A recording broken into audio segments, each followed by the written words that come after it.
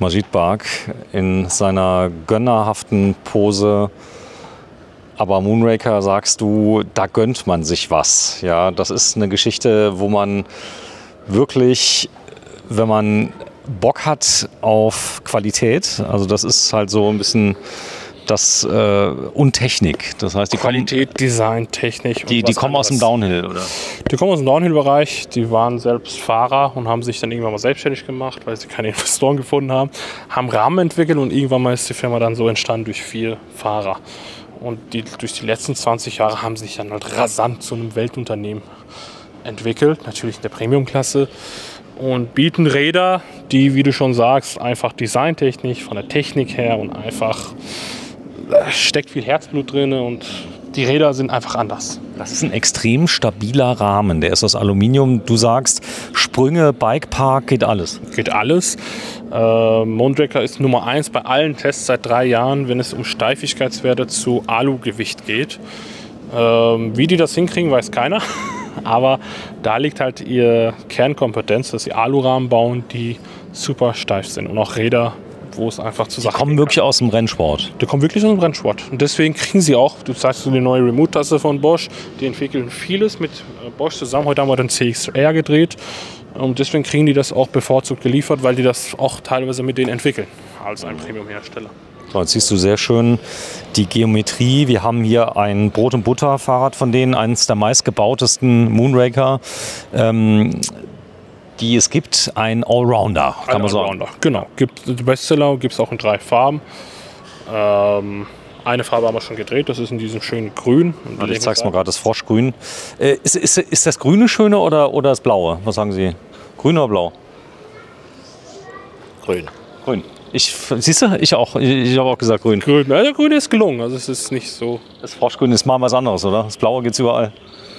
Das, und ja. es gibt den noch in Anthrazit schwarz. Genau. So, die Lackqualität sagst du ist gut. Die Lackqualität ist beim Mund extrem gut. Wir waren mal letztens bei denen im Werk und da war. Das ist hier halt alles lackiert. Hier ist nichts geklebt. Ja, genau. Und du hast dann auch gesehen, die haben im Werk ein paar andere Herstellermarken gehabt, die günstiger sind. Aber da haben sie schon gezeigt, bei Lack sparen die anderen Hersteller extrem viel, weil die einfach viel dünneres Lack haben.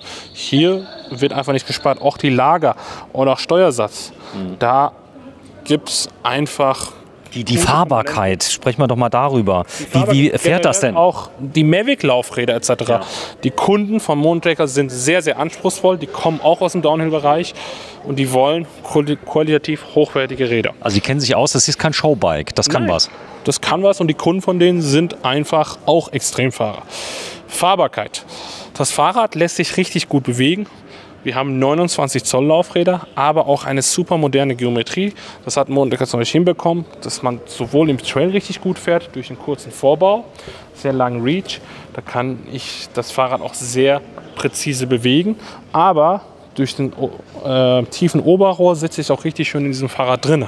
Das heißt, im Trail habe ich jetzt nicht das Gefühl, okay, ich habe das Fahrrad nicht unter Kontrolle, weil er riesen Laufräder hat, weil ich unheimlich viel Federweg habe. Eher das Gegenteil. Ich kann das Fahrrad sehr, sehr präzise lenken. Und auf der Straße lässt sich das richtig schön wie ein Tourenfully bewegen. Und den Spagat zwischen diesen beiden extremen Rahmenform hat dann natürlich Mondegger hier vereint. Du, du, hast noch ein etwas aggressiveres Modell. Wir können es mal gerade zeigen, haben wir eben ein Video gedreht. Es gibt noch eine andere Rahmenform, die ist mehr Enduro, Downhill. Level, genau. Das geht dann nochmal von der äh, Winkeln her aggressiver. Macht das so viel aus? Weil das sind ja nur ein merkst paar. Schon, merkst schon, genau. Also merkst schon. Gut, für jemanden, der wenig fährt wie ich, der muss zwei, dreimal drauf sitzen, um den Unterschied zu merken auf Messen. Aber die Profis, die bei uns vorbeikommen, die merken es sofort. So, SRAM. DB8 hast du wahrscheinlich auch noch nicht auf deinem Kanal geredet. Nee. Ich weiß es nicht. Die nagelneue Bremse von SRAM, super frisch reingekommen. Da wurde das Chassis von SRAM Code RSC genommen, also die beste Bremse von denen. Das heißt, wir haben die höchste Bremskraft, aber Viele haben sich ja Mineralöl gewünscht, weil dort Flüssigkeit muss man ja einmal oder alle zwei Jahre wechseln. Und da hat SRAM gesagt, okay, Mineralöl, aber mit der gleichen Qualität von Code SC. Wir haben die gleichen Backen. Wir mhm. haben hier einfach auch die großen äh, Flächen, damit die Wärme richtig schön ableiten kann.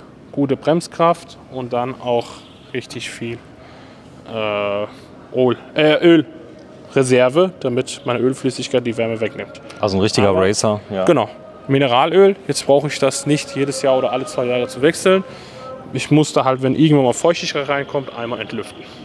So, wenn du es mal gerade stillhältst, bitte, dass wir einmal scharf kriegen und unverwackelt. Also Moonrader Crafty R und warte mal, ich war nicht scharf, jetzt sind wir scharf. 6.799 Euro.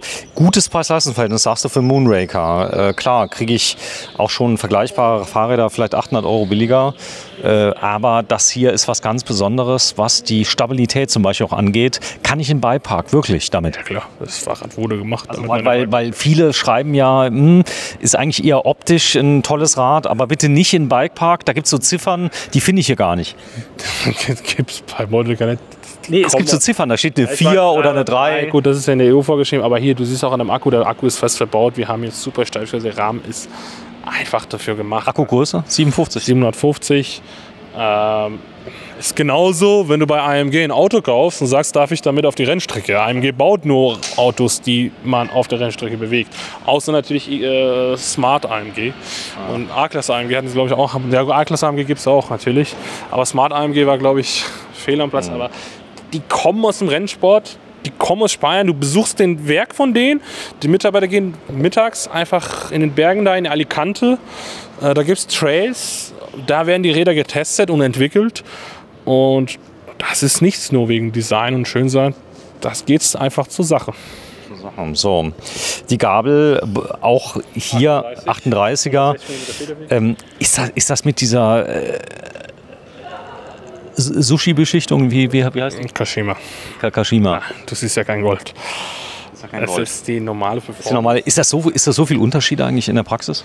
Ähm, du hast bei der Kashima ein bisschen mehr Einstellmöglichkeiten, aber ich sag mal so, für die Normalfahrer, die jetzt kein Rennen fahren, die Performance reicht vollkommen aus. Aber für die Leute, die halt Kashima wollen, gibt es auch. Es gibt natürlich auch bei den Öliens. Hat der eine Schutzblechaufnahme eigentlich, die Gabel? Äh, Schutzblechaufnahme machst du hier. Also gut, es gibt ja die Fox Defender, die Originalen, die kannst du ja. drauf machen. Die werden hier geschraubt, das Schraubung und dann hier natürlich. Alles klar. Da, und da reingesteckt. normale SKS und äh, hinten wird es ja einfach hier befestigt. Sattelstützer, was ist dran? Äh, von On-Off, eine Eigenmarke von äh, Mondraker. Ist in Spanien weit verbreitet und natürlich auch in Südamerika. Und 40 Sattel, also da wurde nirgends bei dem Rad gespart, auch bei den Laufrädern nicht. Warte mal, ich muss mal ganz kurz, irgendwie habe ich ein scharfe Problem, wenn ich gegen, deine, gegen dein Fenster ziele. So, jetzt. Auch Maxis Reifen, also die machen das, wo die dann selbst überzeugt sind auf dem Trail. Gut.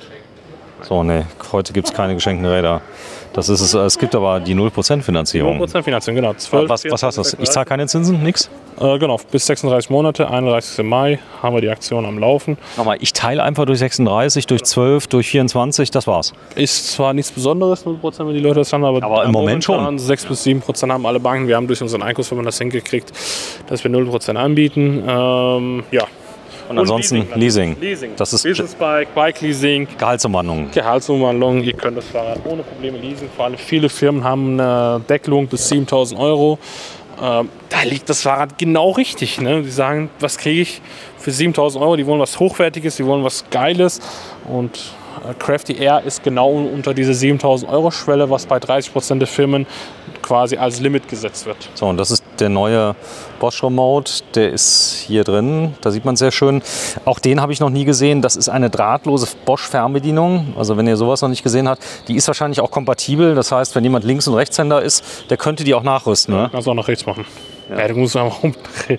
Aber gut, vielleicht bringen die auch irgendwann mal für Rechtshänder und Linkshänder. Aber Ach so, ja. ja. genau, ja. Ich gucke mal gerade hier vorne hin.